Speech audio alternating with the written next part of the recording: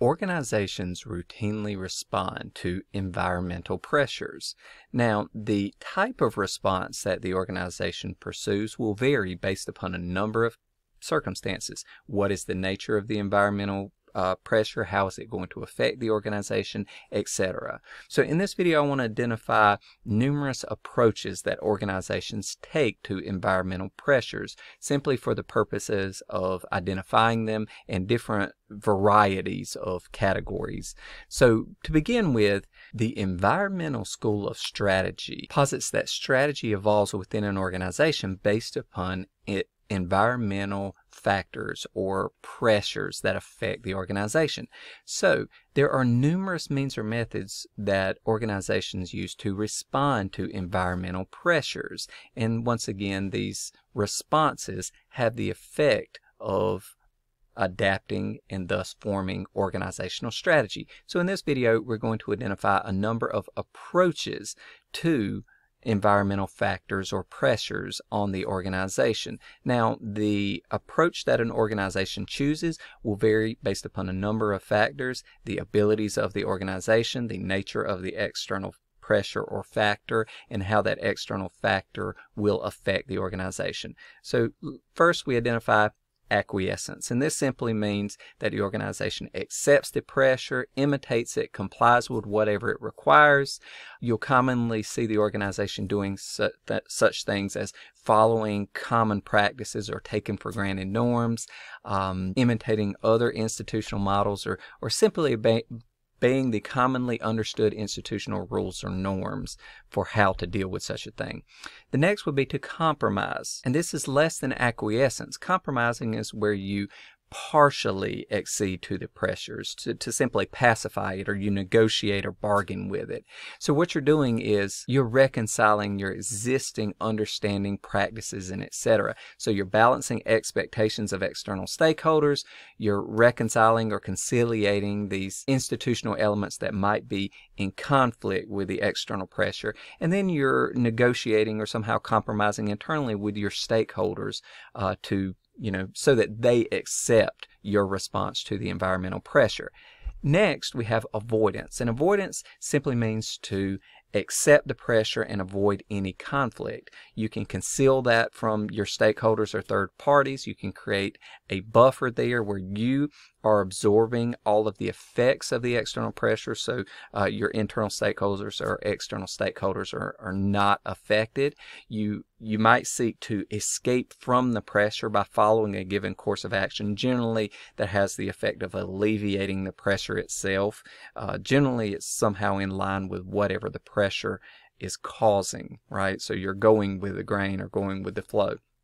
Okay, you might need to disguise any uh, nonconformity or inconformity with whatever the pressure is at large. You may be disguising that to your stakeholders to conceal that you're you're responding to these pressures, such as competition, for example, or, or limitation of resources or something like that. So you're disguising this nonconformity, you're relaxing any institutional attachments you had to previous cultural elements or uh, strategic approaches. And sometimes it means even changing the organizational level goals, the objectives, and the, the activities or uh, systems or processes in a place to achieve the old um, organizational goals or objectives. Next, we look at defiance, and this is actively fighting against these external pressures. You might just simply turn a blind eye to it, which means you dismiss it. You might actively confront it, which means challenging it, or you might preemptively attack it to make certain that it doesn't affect the organization. So in this way, you're ignoring the external pressure, which generally takes the forms of some standards or norms or practices that others are accommodating in a way or acquiescing to. So you are actively defying those. Okay, so you're challenging whatever is expected of you. So, say you take a social movement that is asking for an organization to change, whether right or wrong, the organization actively reaches out and attacks that social movement such that it doesn't need to comply with it. It's challenging these rules and requirements, okay? Thus undermining the pressure itself and alleviating the pressure on the organization. And then lastly is manipulation. And manipulation is an attempt to change the pressure itself. You could co-opt it over to your side such that uh, the external pressure is now brought into your fold and has some benefit there by by reversing course or its effect. You can seek to exert power or influence in some way, and there are numerous sources of power and how that affects uh, individuals and organizations alike. You may seek to exert some level of control through your uh, control of other things such as resources or individuals, which once again is related to that influence through power. This might mean doing things such as employing or implementing influential elements that you bring in from the external environment to somehow ward off the pressure. That could be combining with other organizations, adopting key resources, or uh, somehow aligning yourself with other powerful players. It could mean shaping your values and criteria in a way that allows you to manipulate or co-opt the other side, uh, the, or whatever is the source of the pressure, uh, such as if you were to somehow lobby uh, politicians who were uh, threatening a law to you, for example. Again, you're co opting them into the organization.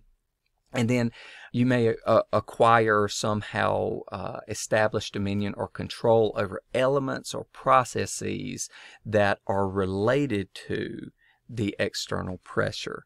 And so, once again, very similar to co opting, you're securing the resources that have the ability to control the outside uh, pressure. So, you're manipulating it in that way. So, these are common, well understood responses that organizations might uh, undertake in response to external or environmental pressures that are affecting the organization.